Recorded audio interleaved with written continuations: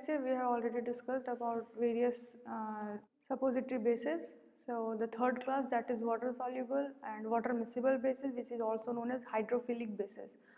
So there are three classes of uh, hydrophilic bases. First one is glycerogelatin base, second one is soap glycerin base and third one is polyethylene glycol. So or you can say uh, PEG, uh, PEG bases. So first one is glycerogelatin bases. Glycerogelatin bases contain glycerol, water and mixture of gelatin. So these three uh, ingredients uh, mixed together and this is known as glycerogelatin bases or you can say this is a mixture of glycerin, water and which is made stuff by the addition of gelatin. Uh, the properties of glycerogelatin bases are uh, colorless, this is transparent or translucent in nature. Uh, this is very soft in touch uh, because of uh, presence of gelatin. Uh, it melts at 30 to 50 degrees Celsius at around body temperature and mostly glycerogelatin bases are used for the preparation of vaginal suppositories. This is the diagram of uh, images of glycerogelatin bases. Image advantages of uh, glycerogelatin bases are uh, there is most important uh, the first advantage that is it melts at body temperature and it uh, mix with body fluid uh, it is not rancid and it can be used to prepare suppositories using boric acids, boric acids, chloral hydrate bromide, iodides, iodoform, opium etc. Disadvantages of glycerogelatin bases, uh, these are very difficult to prepare and handle uh, because of its uh, soft nature and uh, chances of bacterial growth because uh, water, uh, water is present in glycerogelatin bases and it is hygroscopic in nature.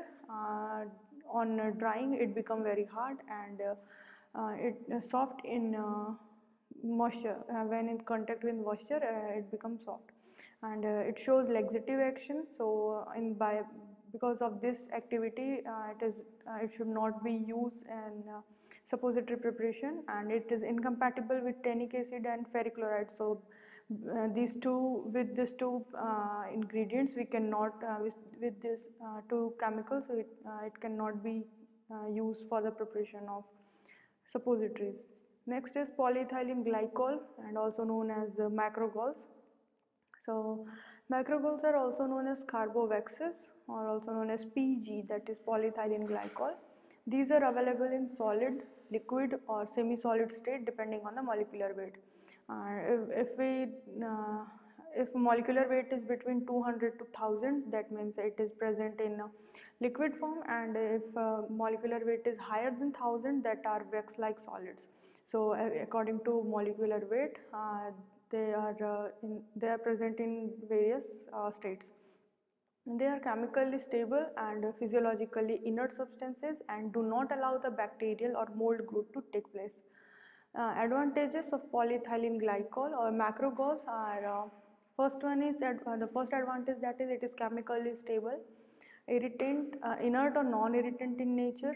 It do not allow bacterial growth because it do not contain water and uh, physical properties change according to their molecular weight, uh, do not stick to mold and uh, suppositories are clean and smooth in appearance. Next is emulsifying synthetic bases. So emulsifying synthetic bases are further classified into three types, uh, Witepsol, mesasterinum and uh, Massupol. So first, uh, first one is uh, Witepsol. So Witepsol consists of triglycerides of uh, saturated uh, vegetable fatty acids and a varying percentage of partial esters. A small amount of beeswax is added for use in hot climate uh, and uh, it should not be cooled rapidly as it become brittle and fracture. So and lubrication is required in case of Witepsol uh, bases. Next is Massa Estarinum. So Massa Estarinum is a mixture of mono, di and triglycerides of saturated fatty acid. This is a combination of three glycerides, mono, di and triglycerides and uh, the physical appearance is white in color, brittle in nature and almost odorless and tasteless solid. The melting point of Massa Estarinum uh, um, uh, that is 33.5 to 35.5 degrees Celsius and they are available in various grades but uh, grade is commonly used in dispensing. And uh, the advantages of emulsifying synthetic bases are uh, solidify rapidly on cool temperature and they are non-irritant in nature. Uh, lubrication of mold is not required. Overheating does not affect the physical property of this bases. So this is the major advantage of emulsifying synth or synthetic bases. Uh, they can absorb fairly large amount of water or aqueous liquid and uh, the physical appearance of, emulsifying bases like uh, it is white in color, odorless, clean and attractive suppositories are produced and they are less liable to get rancid. Uh, disadvantages of emulsifying bases are it should not be cooled rapidly in refrigerator because they become brittle and uh, they are not very viscous on melting so medicament incorporated with the base settle down rapidly. Methods of preparation, so three methods are there hand rolling method, fusion method and cold compression method. Hand rolling method, first one is uh, hand rolling method. This method is uh, very old. Uh, this method is oldest method, simplest method for preparation of suppository and mostly we uh, mostly hand rolling method is used uh, when cocoa butter is used as a base so at that time we can use hand rolling method for preparation of suppositories.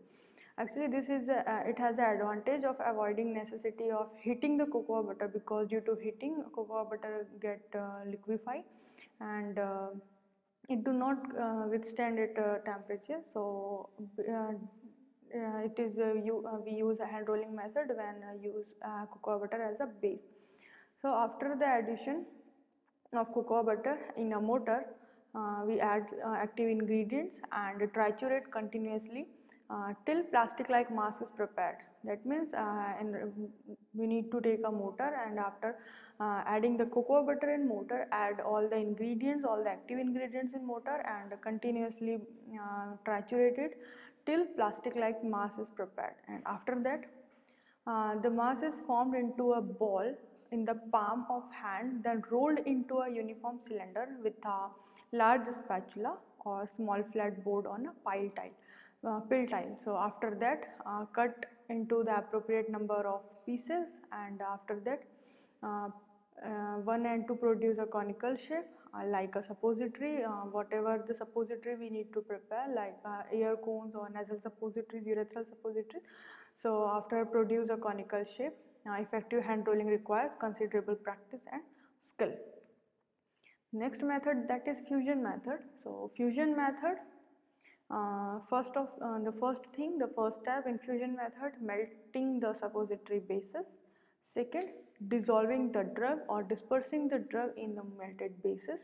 And the mixture is removed from the heat and poured into a suppository mold allowing the melt to congeal and after that removing the formed suppository from the mold and fusion method can be used with all type of suppositories and must be used with most of them and this is the images for a fusion method. Uh, small in a small scale mold are capable to produce 6 to 12 suppositories in single operations and if you talk about the industrial mold so there is 100 suppositories from a single molding. Now, this is the difference in industrial scale and laboratory scale. Uh, next is cold compression molding. So cold compression molding or compression molding is a method of preparing suppositories from mixed mass of grated suppository bases and medicaments which is forced into a special compression mold uh, using suppository making machine. So suppository bases and other ingredients are combined by mix, uh, mixing together and after, uh, after that the friction of process causing the base to soften into paste like consistency and after that uh, if we talk about the small scale, so a mortar and pestle may be used or you can say preheated mortar facilitated softening of the bases. So this is the note for cold compression molding and on larger scale mechanically operated kneading mixtures and uh, warm mixing vessels may be applied. And uh, in the compression machine the suppository base is placed into a cylinder which is then closed. Pressure is applied from one end to release the mass and uh, from the other end into the suppository mold or die and once the die is filled with the mass a movable and plate at the back of the die is removed and when additional pressure is applied to the mass in the cylinder so formed suppositories are ejected and end of uh, the end plate is returned and the process is repeated until all of the suppository mass has been used. So these all are the methods for uh, preparation of suppositories. First one is uh,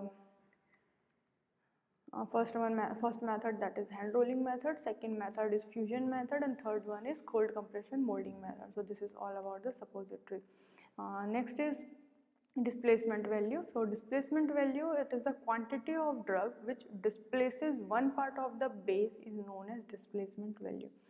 Displacement value uh, determination of displacement value is very necessary in uh, suppository basis. If you have uh, if we have a numerical problem like determination of displacement value of a medicament in theobroma oil suppository contain 40% medicament prepared in 1 gram of mold. So the weight of 10 suppositories 14.66 gram. Uh, solution is there uh, formula and uh, we can solve or we can calculate the displacement value. Uh, next is packaging and uh, storage. So suppositories are usually packed in tin or aluminum paper or plastic and uh, one more thing is important in during the packaging the uh, two suppository cannot be together uh, because of their breakage or uh, poorly uh, packed suppositories may give rise, rise to staining breakage or deformation by melting. So both cocoa butter and glycerin, uh, glycerinated gelatin suppositories stored preferably, preferably in a refrigerator and polyethylene glycol suppository stored at usually room temperature without the requirement of refrigeration. Evaluation parameter first one is uniformity of weight test second one is melting range. Melting range is classified into two classes macro melting and micro melting. Macro melting uh, it, the time it takes for entire suppository to melt when immersed in constant temperature uh, water bath and uh, micro melting it is measure capillary tube for the fat, uh, fat base only. Uh, next is liquefaction and softening time test. So this test is performed on rectal suppository to determine the softening time of the suppository. So during this test uh, glass rod is placed on a suppository held in u tube of uh, apparatus immersed in constant temperature water bath and after that the time taken for the rod to pass through the suppository is recorded last evaluation parameter that is the resolution test. So same apparatus available for these tests on tablet like resolution apparatus. So this is all about the suppositories. Uh, next topic we will discuss in next lecture. Thank you.